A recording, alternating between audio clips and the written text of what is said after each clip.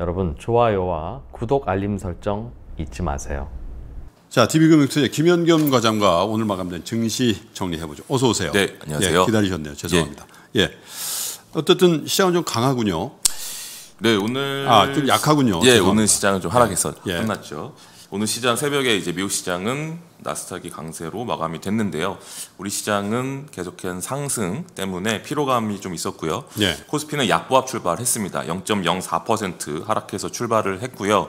코스닥은 소폭 상승한 0.25% 상승으로 출발을 했습니다. 예.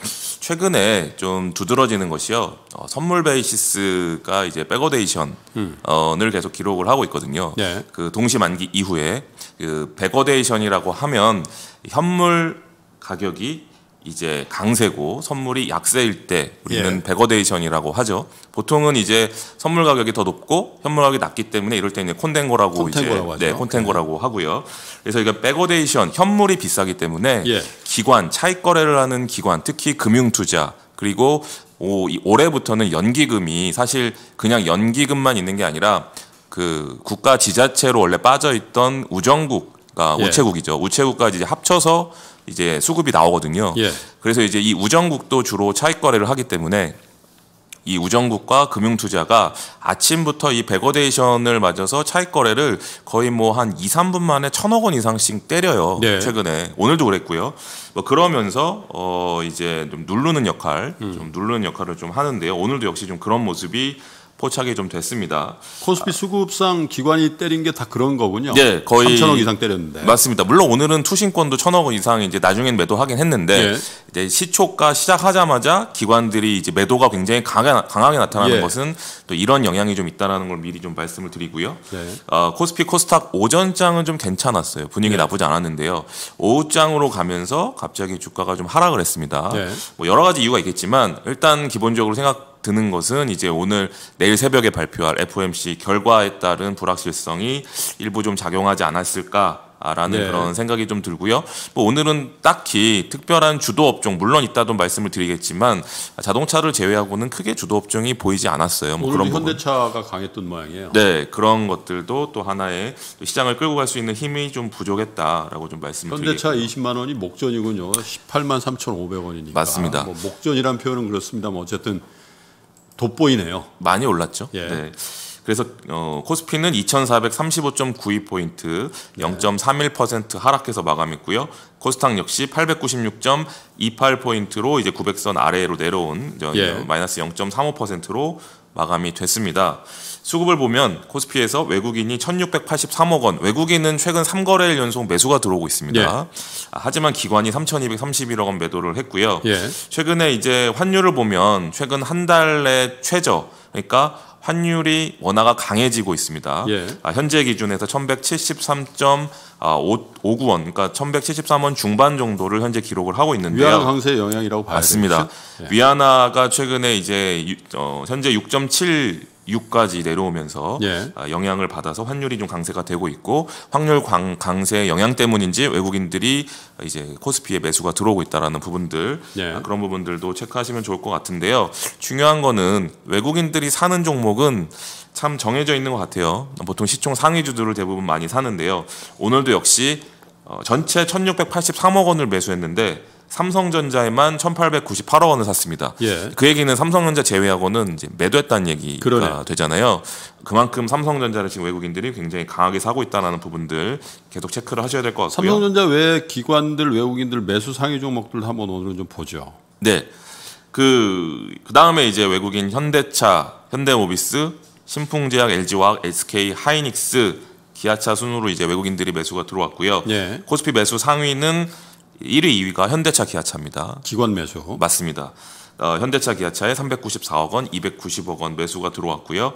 SK 하이닉스, 현대모비스, 예. NC소프트 순서대로 매수가 들어왔는데요. 예. 이 현대차 3인방을 오늘 기관들이 1위, 2위, 4위 아, 매수 상위로 어, 올려오면서 물론 외국인 역시 아, 삼- 어, 현대차, 현대모비스, 기아차를 또 매수 상위에 이제 네. 올려놨죠.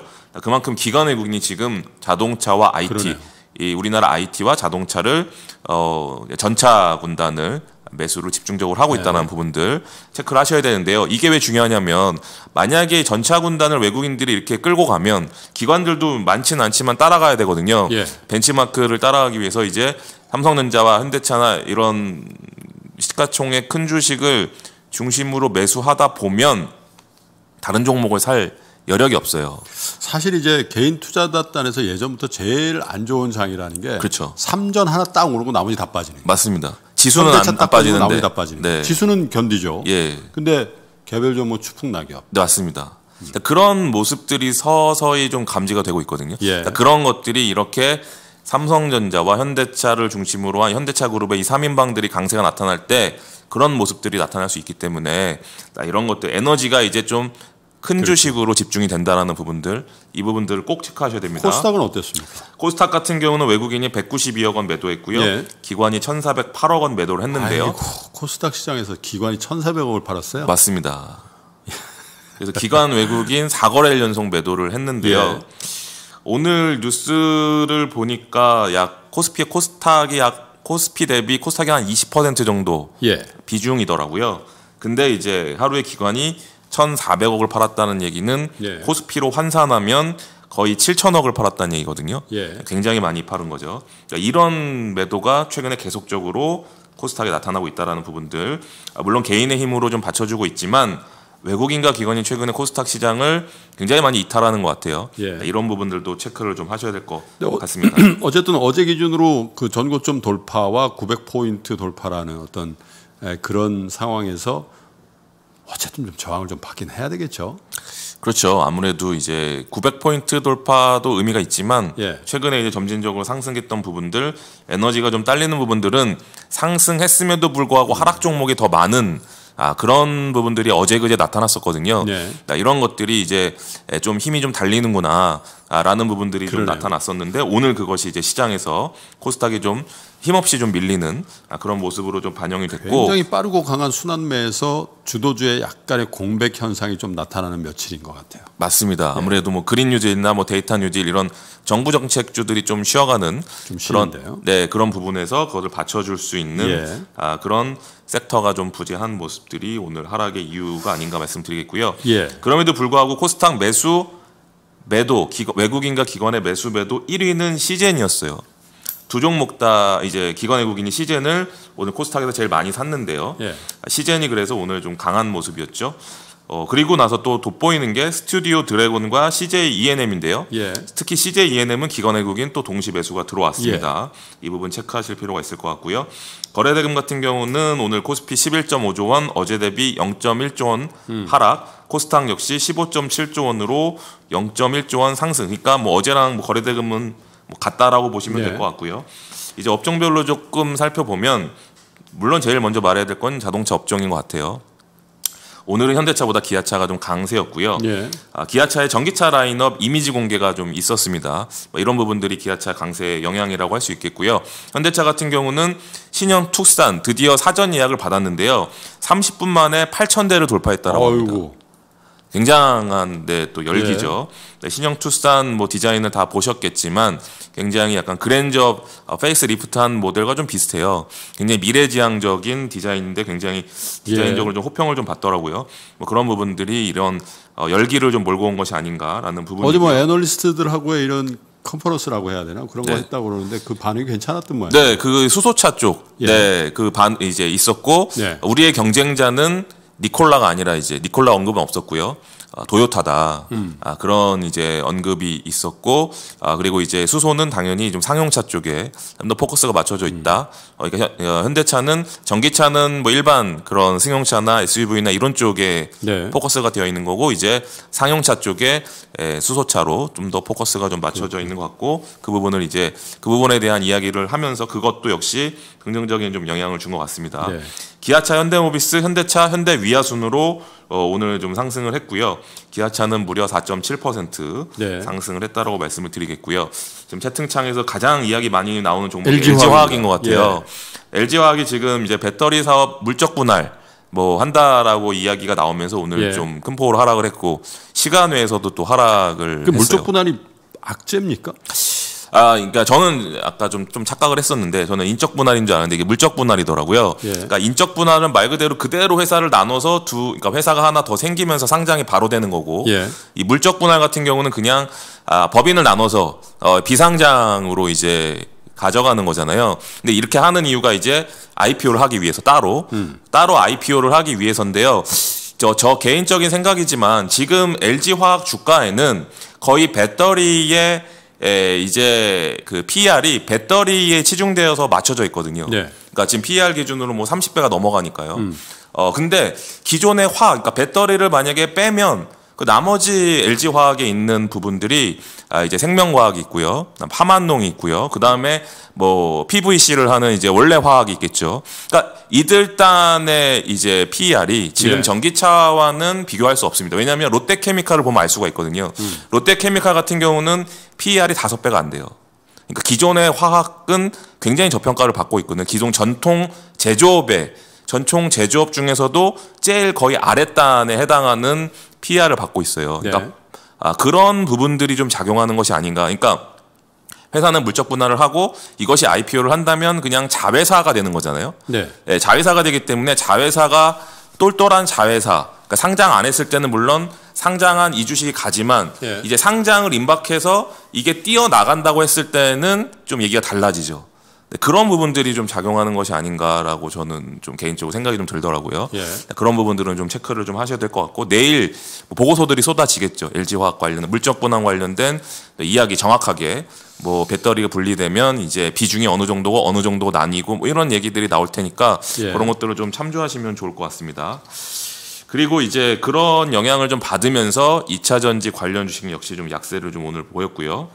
그리고 이제 화이자죠. 화이자 임상 에서 경증 부작용 보고가 또 나왔어요. 네. 그리고 또 오늘 빌 게이츠는 백신이 올해 안으로 만들기 힘들다. 내년 초쯤 개발이 돼서 여름 정도부터 아마 가능할 거다. 예. 그러니까 이런 얘기가 동시에 나왔어요. 그러니까 지금은 약간 백신 쪽 백신이 금방 나올 거다. 뭐 중국의 시노백은 이미 다 만들었고 우리나라 아, 지금 이제 질본 같은 경우도 중국 백신을 지금 뭐 들여온다. 들여온다라는 이야기도 있었잖아요. 네. 근데 이제 이 이야기는 올해는 힘들다. 내년으로 가야 된다라는 이야기가 나오면서 어 이제 오히려 이제 진단 키트 주식들이 오늘 그래서 좀 강세를 보인 것이 아닌가. 뭐 씨젠이나 수젠텍, 넥스비티, 뭐 EDGC, 랩, 랩지노믹스 이런 종목들이 오늘 상승을 했고요. 네. 또 치료제 쪽에서도 신풍제약이나 뭐 이런 종목들이 좀 상승을 했습니다.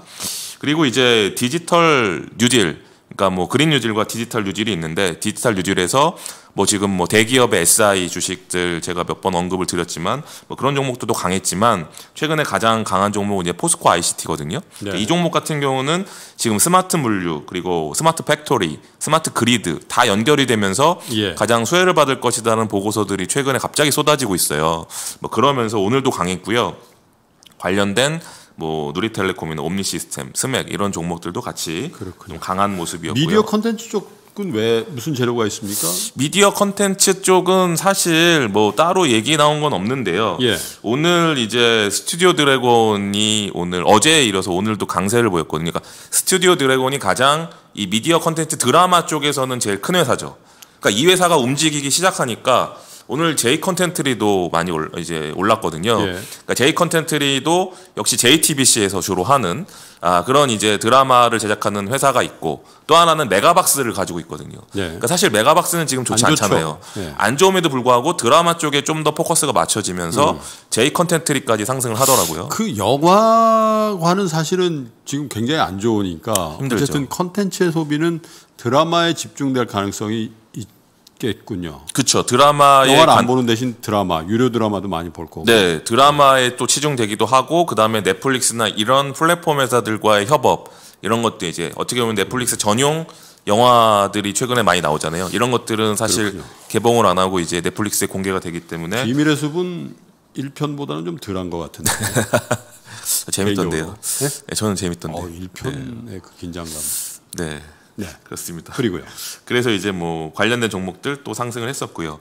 그리고 추석 관련된 유통 주식, 홈쇼핑 주식들이 계속해서 강세를 좀 이어가고 있어요. 네. 오늘 역시 이마트나 뭐 현대백화점, CJ E&M. 그러니까 CJ E&M은 어, 지금 이제 약간 미디어 쪽에도 걸쳐 있지만 이제 사실 CJ 홈쇼핑과 합병된 회사라 지금은 이제 홈쇼핑 때문에 움직이는 것 같고요. 음. 그렇죠. GS 홈쇼핑도 오늘 좀 강세를 보였기 때문에 예. 그런 부분들 계속해서 좀 이어진다라고 말씀을 드리겠습니다. 이번 주 금요일이 그 FTSE 그러니까 뿌찌라고 하죠. 네. 여기 정기 변경 리밸런싱일이죠. 맞습니다. 그러면 이제 편입 편출이 있을 텐데. 네, 이거는 이제 유럽 지수죠. 네. 이 9월 이제 반기 리뷰라고 해서 이번 예. 주 금요일, 그러니까 내일 모레죠.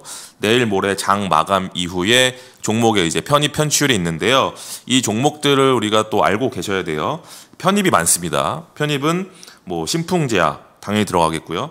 뭐 H- 어, NHN 한국사이버결제, 뭐 TCK, 천보, RF, RFHIC, 그러니까 최근에 잘 나가는 종목들이 다 들어가 있어요. 셀- 시가총액 기준이니까요. 네 맞습니다. 뭐. 셀리, 네, 셀리버리, 에- 뭐 NC 바이오, 뭐 등등등 종목들이 이 이제 15 종목이 들어가고요. 예. 편출 같은 경우는 이제 최근에 좋지 않은 종목들 이 대부분이 들어 있습니다. 신라젠, 이찬불, 뭐 코나아이, 뭐 세아제강, 태웅, 로맨스 뭐 이런 종목들이 들어가 있기 때문에 아, 이런 종목들이 사실 보면 오늘도 좀 강세를 보인 종목들이 꽤 있어요. 네. 뭐 예를 들면 지금 그 편입 종목에 진원생명과학이 있는데 오늘 진원생명과학이 10% 상승했거든요. 아 그리고 뭐 셀리버리 이런 종목도 오늘 상승했고요. 네. 뭐 천보도 상승했고요. 그러니까 여기 편입 관련된 종목들이 이미 사전에 움직이고 있어요. 예. 그런 것들을 좀 체크를 좀 하셔야 지금 시장을 보는 관점에서 어 이 종목들이 왜 개별로 움직이지라고 했을 때 이런 수급적인 이슈가 있다라는 부분들 말씀을 드리겠습니다. 알겠습니다. 자, 김현경 과장 그 시황을 듣다 보니까 포만감이 드네요. 내용을 많이 갖고 오셔서. 자, 늦게 시작한 만큼 내용 착실하게 다 해주신 것 같습니다. 감사합니다. 네, 감사합니다.